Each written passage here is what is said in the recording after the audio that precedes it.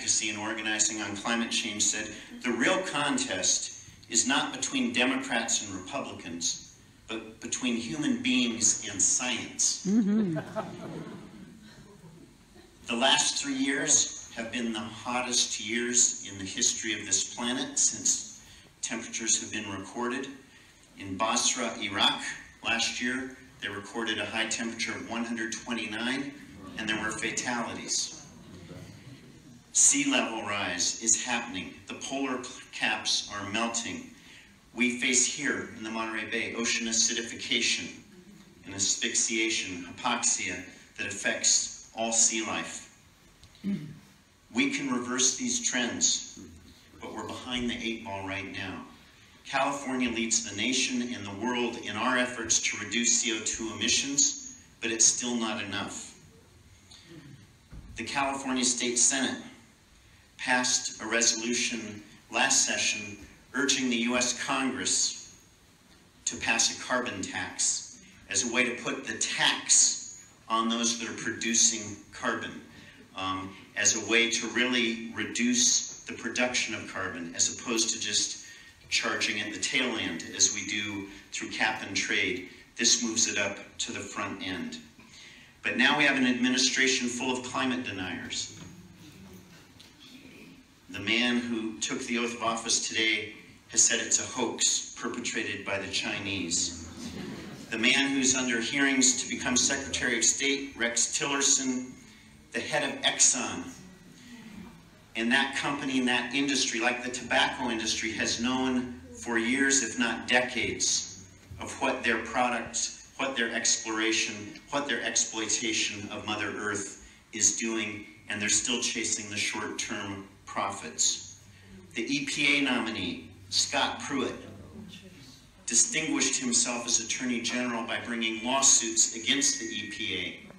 And Oklahoma still has suits against the EPA, and he said he will not recuse himself uh, should he be confirmed as head of the EPA.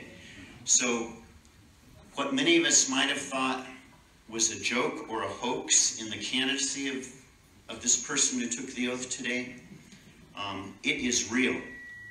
And it is brought home very strongly when we look at this cast of characters uh, being put in charge of departments that they either sought to abolish or don't believe in their very enforcement role, which is designed to protect the health and safety of all of us. And they're now in position to try to erode that net of protections. Our advocacy is more crucial now than ever before. I've heard of people talking about secession. Well, California, we should just secede. You know, we have the power. We're the sixth strongest economy in the world. But I counter that. I, I get the sentiment. But no, we should take our country back.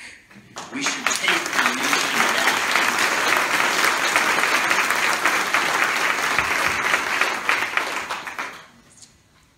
Let me just close with a prescription to add to others, a prescription for peace, equality, unity, and justice. Government at best moves incrementally. And if we move incrementally with climate change, we lose. We need, as Mary Adams said, we need for the people of our communities, of our county, our state, our nation, and our planet to force governments to do the right thing. They won't do it on their own. Just as corporations didn't put seatbelts in cars or, or safety bags or car seats, it was government. The Clean Air Act, actually signed under President Nixon. The air is cleaner in LA today than it was in the 1960s. It wasn't corporations, it was government protecting the health and safety of the people. So the person who took the oath today has suggested that there's been a disconnect between government and the people, and that he represents that reconnection with the people. And yet, the over 14 million, or closer to 20 million, who've gotten health care, not a perfect system. I still favor universal health care, single payer system.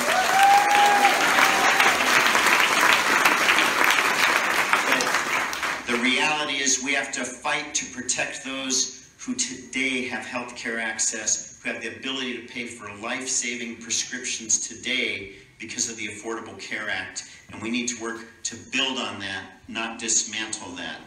Um, and just to close, um, again, on the climate change, the connection to our local communities, we, the people in this room, passed Measure Z.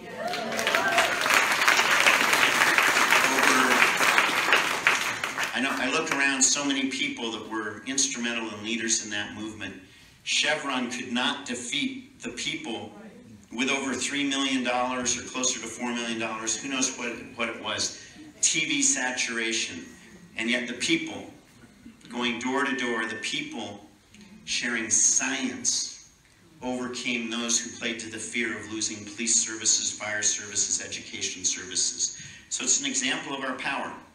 And too often we're deflected by the headlines and the corporate media that makes us feel small, unimportant, and ineffective.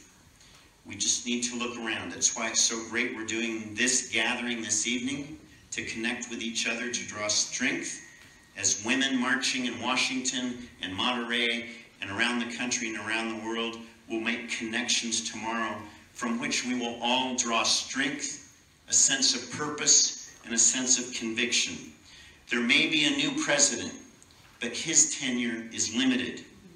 Our movements are not limited by time, but must be inspired by a sense of great urgency. Today, tomorrow, next week, let's grow this movement, let's grow this room to be 10 times this size, 100 times this size. It is our nation. Let's take it back. Thank you.